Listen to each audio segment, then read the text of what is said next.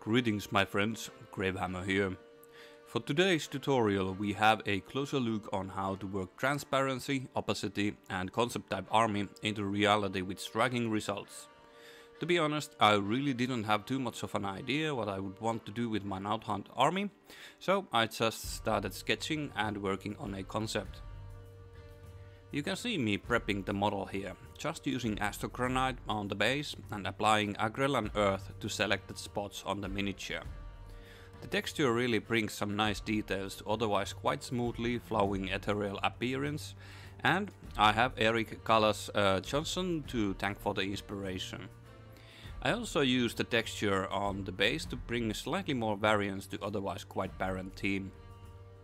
For some reason I have never gotten a Mordant Earth to work as well as Agrellan Earth, so I would strongly recommend it over Mordant. Might be user error, or the pigment in the gel works differently, mm, I don't know.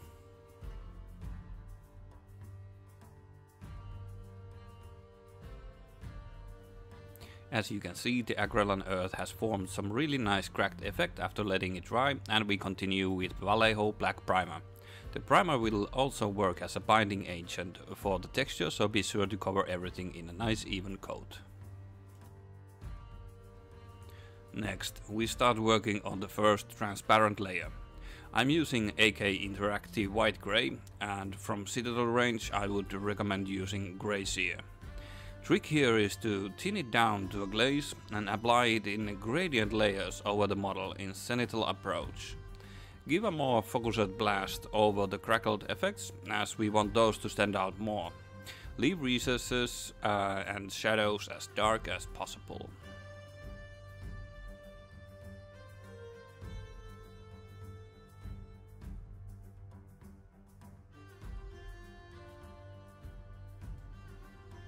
Add few drops of white ink and acrylic medium to keep the paint quite transparent and give the white a bit more definition. Focus mainly on the parts with crackle texture and raised surfaces.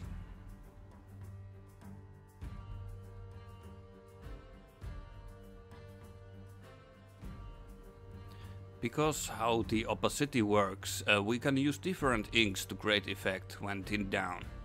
I used uh, quite a lot of acrylic medium to thin down Vallejo red ink and brushed first on the base nearly 90 degree angle uh, to form a gradient and then flip the model upside down and do a reverse zenithal running down the more shadowed bits.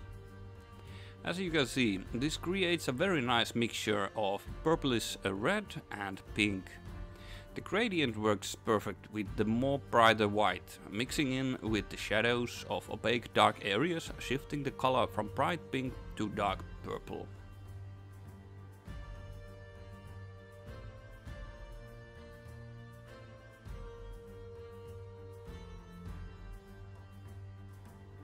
And this is how our model should be looking at this point.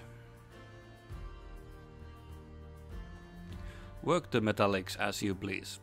I used a Leadbelcher to cover the chainmail and helmeted head, and a Retributor armor mixed with Runelord brass for some golden majesty.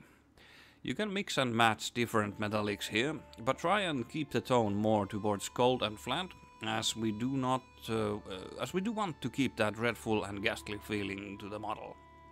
You are free to work some weathering if you want, but I would avoid anything too bright like verdigris or high contrast rust. For the armor parts I used wet blending with medium rust deposits as demonstrated on my Necron Doomstalker video.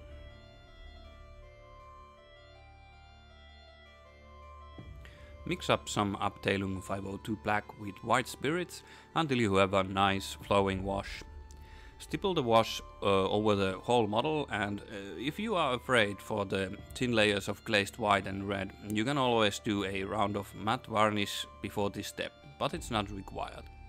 Work the uh, black wash all over, but try and avoid excess pooling. While the model is still wet, go over the parts where you can notice pooling of the wash and pick it up with a damp brush. Each time you see me move the brush off screen, I wipe it clean on an adhesive part of my body and continue working the model. We don't want to remove the wash per se, but we want to get rid of the large pools of the wash which are certain to occur. The black oil will perfectly unify the transitions on the model while having minimal impact on the actual colors. It will darken down the red and purple, but just enough to have a nice gradient. Once the model is mostly dry, you can speed this up uh, with a hairdryer. Use a larger damp brush in sweeping dry brushing motion. This will work the unifying transition even more, uh, but be careful not to smudge the areas too much. You can also use a q-tip with a drop of white spirit if you feel like you messed up too much. The brush will pick up some excess oil from the model and spread the rest more evenly on the surfaces.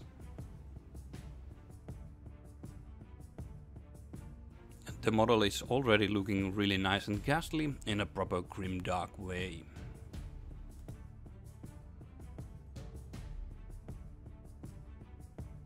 Alright, to give the team a bit more aggressive and brighter contrast, we use tinned down Vallejo fluorescent red. Again, because we use it more like a glaze, the transparency of the paint will work to create a more pink slash orange glow. Focus the paint more on the crackles, like ripples of nightmare stuff surging from the hounds. Now that the model has had more time to dry, the black oil wash has brought the overall color more towards a dull grey than we want. Using the earlier uh, white-grey glaze, come over the raised areas in a zenithal style approach and work the model carefully. You can use a dry brush to achieve very much similar effect. Most of the people, uh, most of the times people are more hesitant to use airbrushed layers after washes, but that's where the more transparent and opaque layers comes into play. As the paint is really really thinned down, it just increases white contrast but retains the nice transitions we worked earlier. To have a more ashen look, do a final sprinkling pass over the lower parts of the model. This will sink in the recesses and crackles, but it's uh, as it's very very thin, it will not undo our previous white highlight pass.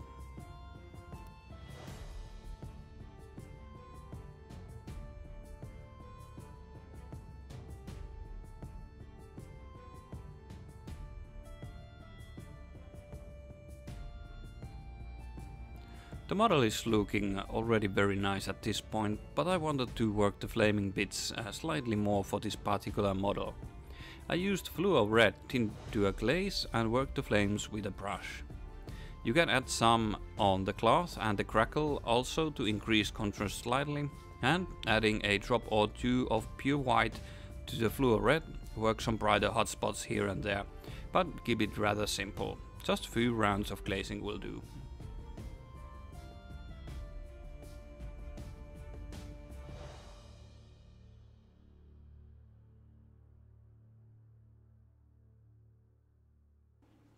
Using Carroburg Crimson mixed with acrylic medium, identify and pick some of the more purple transitions and add a slight layer here and there.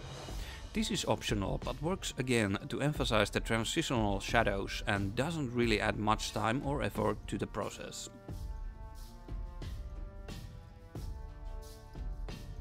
After Carroburg Crimson, lastly come over the raised areas with white grey. Keep it as transparent and subtle as possible, so you get those nice highlights and transitions. And there we go. Hopefully this tutorial answered some questions. It took me roughly around 25 hours to work the whole uh, Nighthaunt army to 2000 points, and it uh, looks great on tabletop. You are free to experiment and add anything you might feel useful or make it more to your own style. As always, hit that like and subscribe if you enjoyed the video and check my other social medias for more content. Happy wargaming, have fun painting, and as always, stay grim dark.